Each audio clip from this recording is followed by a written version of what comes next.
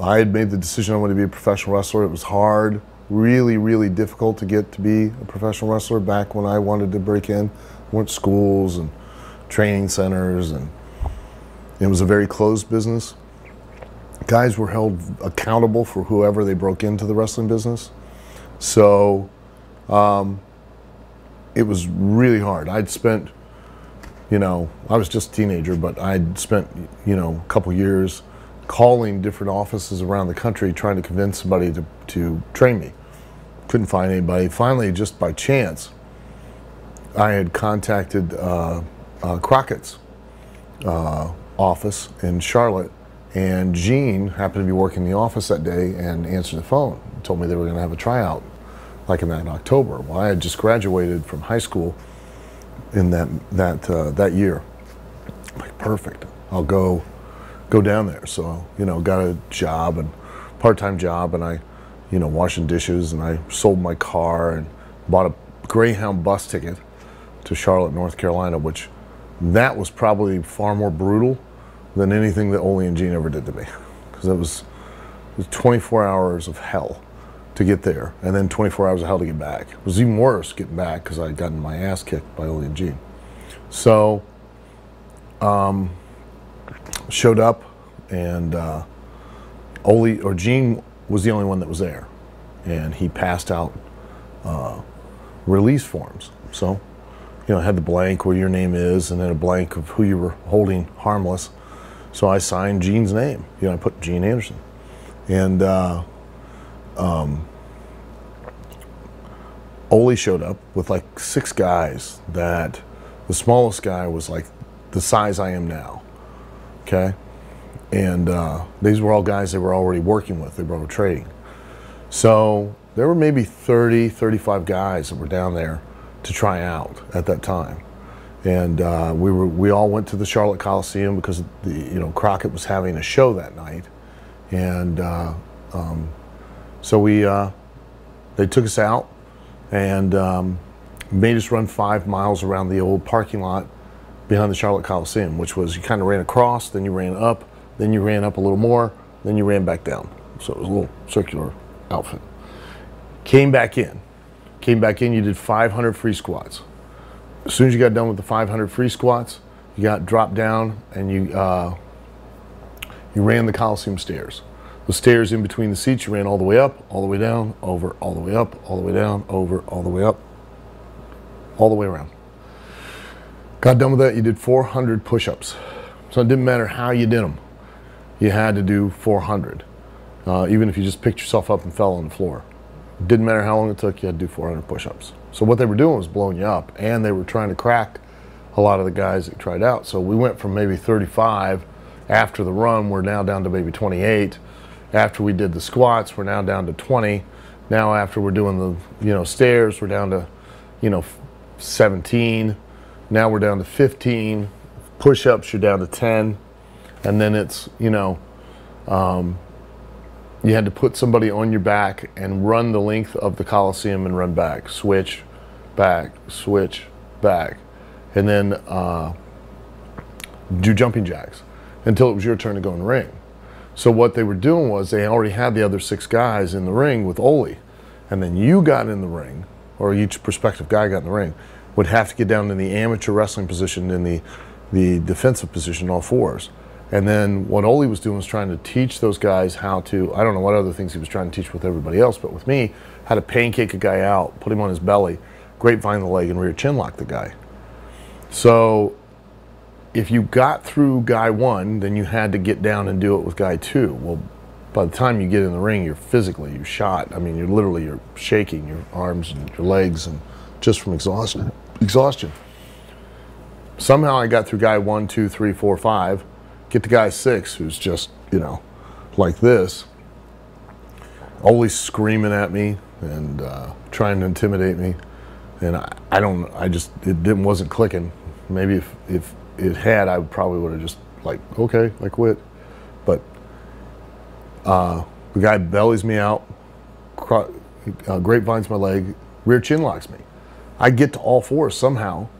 And the guys, I won't, you know, if I could have spoken, I might have given up, but Ole's like screaming at me, Do you give up? You give up? I couldn't say anything because the guy had my jaw clamped shut. So Ole takes that as I won't give up. So he immediately tells him to break, put me down again, and do it again. Okay. Does it again. Clamps it on me. Ole's in my face. I again get to all fours somehow. The guy can't grapevine my leg. Get to all fours. And the guy, and Ole's screaming in my face, Do you give up? Do you give up? At that point, yeah, I was going to give up. But I couldn't say I was going to give up because again, my jaw was clamped completely shut. So Ole's like, That's it. Get out. I thought he meant me. I went to go get out. He goes, You're not leaving. Turn around. Gene slides in the ring. I get back. He Ole tells me to get back in the all fours. Now Ole has been the guy who's been stretching guys after all the other guys. They went through all the other guys plus all the other physical exhaustion. He gets in, stretches you, hooks you, makes you tap, sends you on your way. So uh, one guy he had rear chin locked and broke his jaw and knocked him out. So I get down on all fours. I'm serious. That's hilarious. I get down on all fours. Gene gets in the ring, and all of a sudden he's all over me. I mean, he's pulling my hair. He's fish hooking my mouth. He's he's digging in my eye. He's, you know, just all. I can't even imagine what he's doing. I'm, I'm confused. So all of a sudden he goes to grab my balls. So I'm trying to get away. So I grab him by the balls and we're rolling around and I got a hold of his balls and he's still trying to grab my balls. And finally gets on top of me and puts his thumb in my eye and he's like screaming, Do you want to lose your eye? Do you want to lose your eye? And Ole now becomes the voice of reason, goes, Hey, no, that's all right. Right? And Ole separates us. Now, in the meantime, he has smashed my face into the bottom rope, which is uh, basically aircraft cable on those WCW rings, breaks my nose and, and has uh, I'm like cuts and scratches all over me. I find out later when I go in the hotel room, I take my shirt off. I've got bite marks on my back where he bit me. He literally, the man bit me, bit me on the back. He's got, I got clumps of hair missing where he pulled my hair. My mouth is busted where he fish hooked me, and uh, he's screaming at me to get out of the ring. So I go to the back of the ring, go back, get cleaned up, come back out, ask what time the show was took the last bit of money I had for food, bought a ticket to the wrestling show, watched the wrestling show that night, which uh, featured uh, Roddy Piper and Greg Valentine in a dog collar match where, you know, Valentine split open Piper's ear, and uh, Sergeant Slaughter was on the card, Steamboat, um, a lot of Jake's, Jake Roberts. They had a big battle royal. John Studd was there, um, and then walked five miles back to the uh, bus station the next day, which was the most painful thing I've ever done in my life because all the lactic acid and everything else and all beat up. Got on the bus and 24 hours home and then kept pursuing it. You were addicted at that point. I was in. I was going to do it whether come hell or high water. So.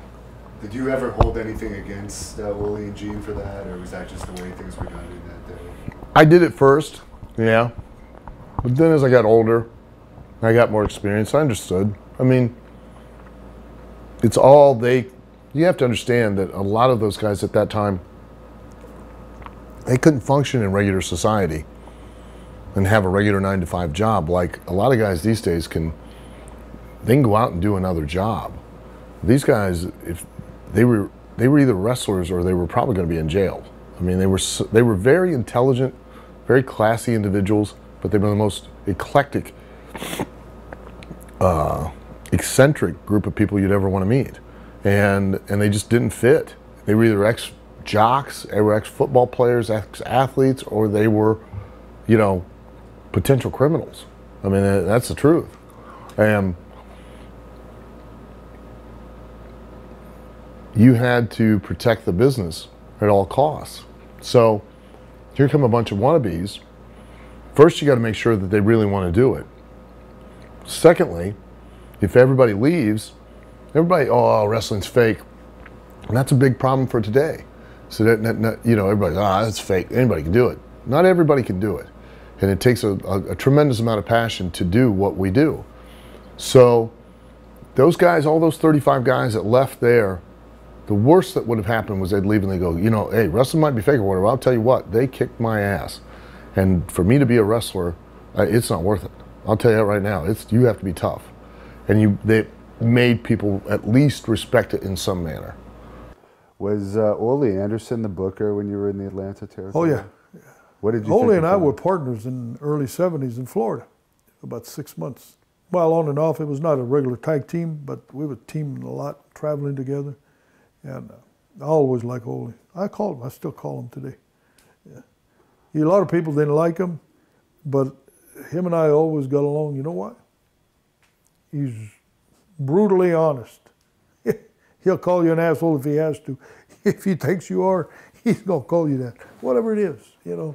And he got quite a few fights. He got beat up one time by uh, what was it? Black Jack Mulligan. Yeah. He told him off. He didn't care. He didn't care how big Black Jack was. Right. But he's like he was that kind of guy, and he was a good booker. He was a good booker. And uh, you also had some matches with Arn Anderson too, didn't you? Oh, there was another guy that, yeah. There's another guy that very good. Jeez, we made money too. I worked with him and Tully. Tully Blanchard was good. You know, he was a he was a go getter. You know, he was not lazy. He just you know just uh, which is good. I, there was some guys. They were they were good guys. uh, You know, but some guys you prefer to work with because there was money there. Was Jim Barnett still involved in the Atlanta territory? Yeah, he was there when I was uh, when I went there in 80, 81, 82. What did you think? But he, he was not around that much. Okay. He was more around like in the 70s when I was there in 74, 75. You know. I heard he was uh, a great promoter as far as securing TV deals and. Uh, Yeah. Well, he was forth. successful, so I, I never had a whole lot of dealings with him, but uh, I liked him. He liked me. We had a good uh, relation there. He uh, one time he came in the dressing room. and, My God, Ronald! he liked the match. yeah. And uh, I had Robert Fuller in the ring. And Robert was just green starting.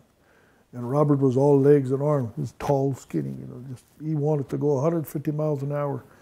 And uh, so I, I got in the ring and I said, and Barnett was on the stage behind next to the curtains watching the match. And uh, we had a sellout too. It was a packed house. And Barnett always come in the dressing room when you had a big house. And I'm a sellout, boys, and I want you to bust your butt, you know. Anyway, Robert, man, he's going to he's going to impress somebody that night.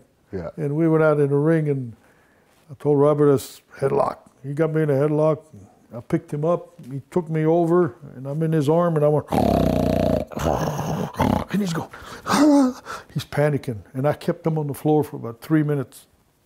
And Barnett's watching the match, and this kid, he turns me loose and jumps up and runs around the ring. That's funny. I couldn't believe it. It's supposed to be a wrestling match. You're, I'm in a hole. He turns me loose because we're not doing anything. Barnett's watching. And uh, I did that for about 10 minutes.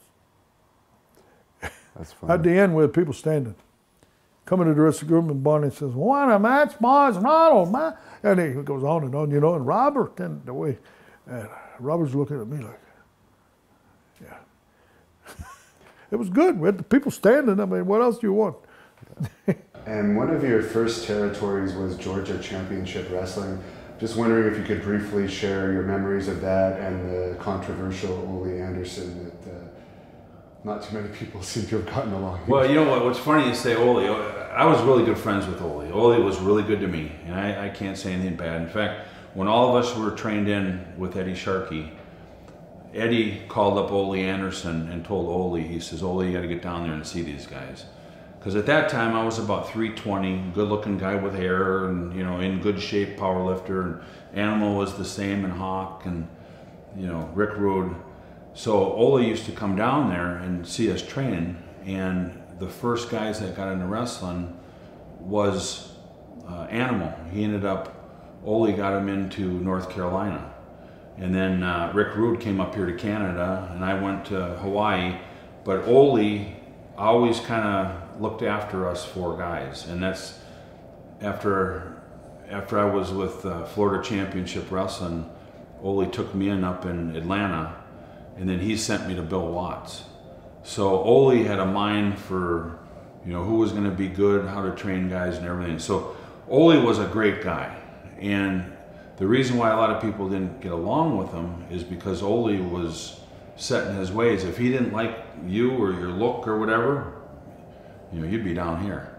So he, uh, you know, being the booker of a, a big wrestling organization like that, when you're on, you know, TBS, and I mean, he had a lot of heat with a lot of the guys because he didn't just, you know, put guys on TV. It was the guys that he thought could become, you know, wrestlers. I came to Georgia Championship Wrestling, and uh, I went back to Big Jim Duggan, and I still didn't understand the business a lot, but I started wrestling DiBiase, Ted DiBiase, and him being a second generation wrestler, he taught me quite a bit, but it was really kind of a, a short run at Georgia.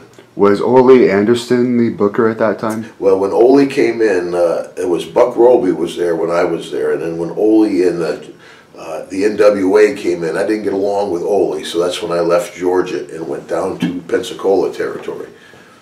Uh, what was the issue with Ole? Well, I just we just you know didn't get along, you know, and I knew I got along with Buck, Buck Robley, and the other guys that were leaving. Uh, Robert Fuller went down and he opened up the Pensacola, Florida territory, so I just went down with him, and it was a good to sit smaller territory, but easier trips and more fun for a young guy. At what point in time did you start using the Hacksaw name? Well, that's after Pensacola. Uh, Buck Robley and Bruiser Brody, who I met in Georgia, they went to San Antonio. And they called me and when I was down in Pensacola and like, hey, we got a great spot for you here in San Antonio. Uh, so that's when I made the move to uh, San Antonio, and that's where I became Hacksaw. So out of 36 years, probably 33 I've been Hacksaw. I guess Ole Anderson probably would have been booking at that time. Ole Anderson and Gene, his brother, were, were, were the bookers. How did you get along with them? I've heard mixed uh, Uh, reports. you know, I have no respect for Ole. Uh, I, I I can't stand him. Uh, uh, he didn't know how to treat people right. You know, he he he was uh, kind of made racist remarks uh, towards me and Mexicans, and you know, he he knew the power that he had as, as a booker, and and I, I think he abused it. I, I never really cared for him. When you say racist remarks, um, what type of remarks, for instance? Well, um, just come out right and call you Mexican, come here, or you know, Oh, like so I guess that may have soured your experience. yeah, yeah. Did you ever uh, confront him over that, or was it more he's the boss? And in those days, I guess, unfortunately, that was more acceptable talk than it is today. Yeah, no, I, I just accepted the fact that he was the boss, and you know, and I was learning. You know, I, I wasn't gonna, uh, I, I wasn't gonna burn the bridge where where where where I was working at. You know, uh, I, I was still getting the opportunity. I was still making a living, and you know, I knew that uh, I was gonna get some experience there. You know, I, I just like I, I knew Tully Blanchard, but you know, Tully Blanchard went one way and I went another way, and we were never in the same territory. Uh, so I just knew as an athlete, you know, if you work hard enough, uh, you know, you climb the ladder, and you know, that's that's that's my that was my uh, intention the whole time. didn't ask you in the last interview about Ole Anderson. Uh, what are your thoughts on him? Ole? Yes. Oh, Ole's a bad man. Ole, yep. We wrestled down there in North Carolina, Georgia, Tennessee. Yeah, back in the old days. Yeah, 50 years ago almost. And uh, we were having a discussion in the locker room one day. And Ernie Ladd was uh, uh, doing the booking. And uh, for those that don't know what a booker does, a booker puts together the matches and tells the guys uh, who they're wrestling and um, how the finish is going to go and whatnot. And it, in other words, he, he's controlling the locker room. Well, Ole loved doing that stuff. And uh, he got pissed off, off at Ernie Ladd one day. Now here's Ole 5'10 and here's Ernie Ladd 6'10. So Ole's looking up at Ernie says, You fucking You you don't even know how to put matches together. What the hell's going on here? And Ernie looks at him. What are you talking about? This is a better program than you ever put together. So Ole said, You dumb fucking you think you can do this because you graduated from Grambling College? Anybody can graduate from Grambling College because it's a college. I said, Jesus. I said, Holy, slow down here. But Ernie was laughing right along with everybody else in the locker room. Was uh, Ole Anderson the booker in Atlanta at that time? I've heard that uh, he didn't think like there was too big of a role for uh, at that time. Was there any? He didn't. I mean, that's the main reason why we didn't get a break. Bring us right into Atlanta. Why not bring us right into Atlanta, right there, and and, and, and train us? And, and, and, you know, there was a lot of uh, what's the word? Uh, when you're uh, you don't like people who aren't like you. Right. Uh, Resentment, I guess, because you guys had the physiques and he was more of a gruff. We were a couple of long-haired, you know, physique type guys. Ole Anderson, big, fat, tubby-looking, you know, way, you know, old-time wrestler-looking guy. And we were, we were uh, new generation, the, the, the next generation uh, of wrestlers who were beginning to come along. And, and uh, yeah, there was a lot of resentment. They, those guys didn't want to see us, uh, you know, taking any of their money. So they didn't help a bit. Thank you for watching the Hannibal TV. Please like this video if you enjoyed it and click the subscribe button to not miss any of our latest shoot interviews, match videos, or news updates. Follow us on Twitter at the Hannibal TV for instant updates.